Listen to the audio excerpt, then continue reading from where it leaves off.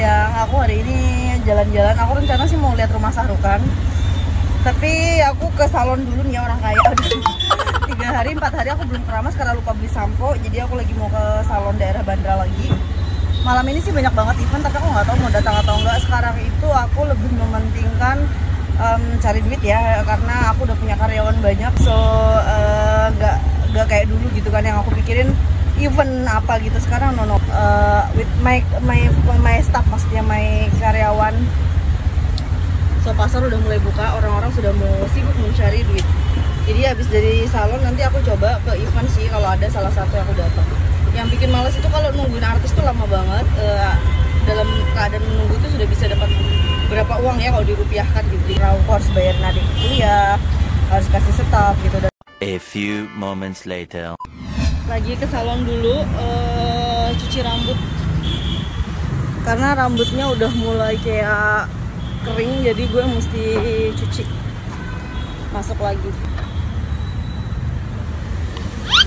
Selalu bingung aku kalau buka. I want to wash hair. Yes. Lagi rame banget salonnya.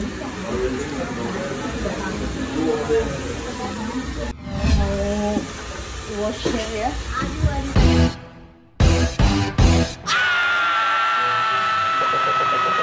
Nah,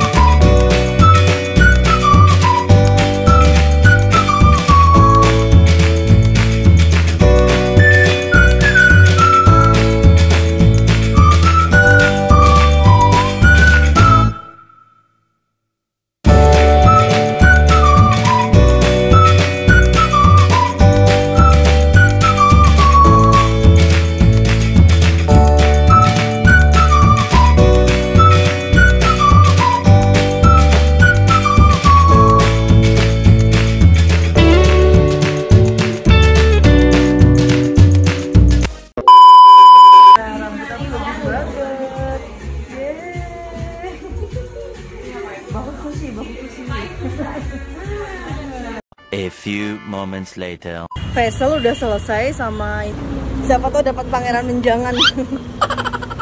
aku tadi salah ngambil ngasih tips karena ada orang yang mukanya mirip banget. Udah aku kasih akhirnya aku bilang aku salah ngasih tips. Aduh, Baya, Juhu. Jadi aku mau pergi ke Juhu dulu terus nanti eh, ngambil dagangan. Jadi udah cantik dan sudah beautiful, right? Sekarang jalan-jalan dulu ke area Juhu. Eh, favorit aku, aku mau makan di sana. Gitu deh. A few moments later. Jadi hari ini aku eh, lagi makan ya, ini eh, ayam. Jadi dengan irisan wet. Dan untuk ayamnya sendiri eh, di sini tuh adalah favorit ya. Jadi pada suka semuanya. Eh, aku mereview makanannya. Kemarin kan nge-review makanan di jalan. Sekarang mereview beberapa restoran favorit artis-artis ya. Jadi biar kalian tahu budget-budgetnya. Biasanya sih kalau aku makan di sini kurang lebih habis 300 ribu. 300 ribu kayak gitu. Nah ini adalah salah satu favorit aku kalau aku ke sini eh, selalu chicken. Hmm.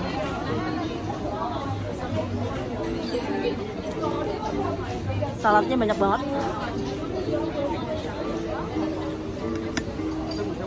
Sini kalau minta saus namanya kecap ya. Jadi saladnya banyak banget. Hmm.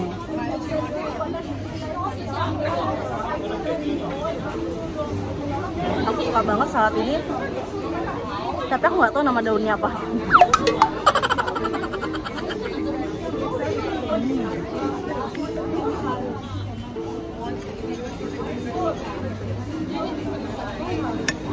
Jangan lupa kasih perasan jeruk biar makanannya lebih lezat.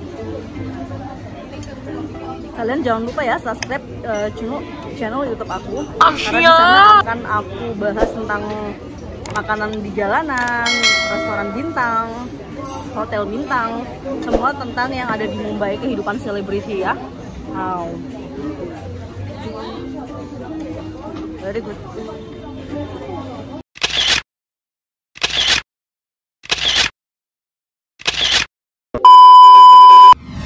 Uh, jadi tadi ketemu Sanjay Kapur dan um, cerita banyak apa soal aku pernah wawancara terus nanti ketemu juga ada Buraki Panjabi karena Buraki mau datang gitu kan. Terus cerita kalau nanti ada promo film mau diajak. Jadi untuk mendekati artis Bollywood sekelas Sanjay Kapur tuh susah loh bu.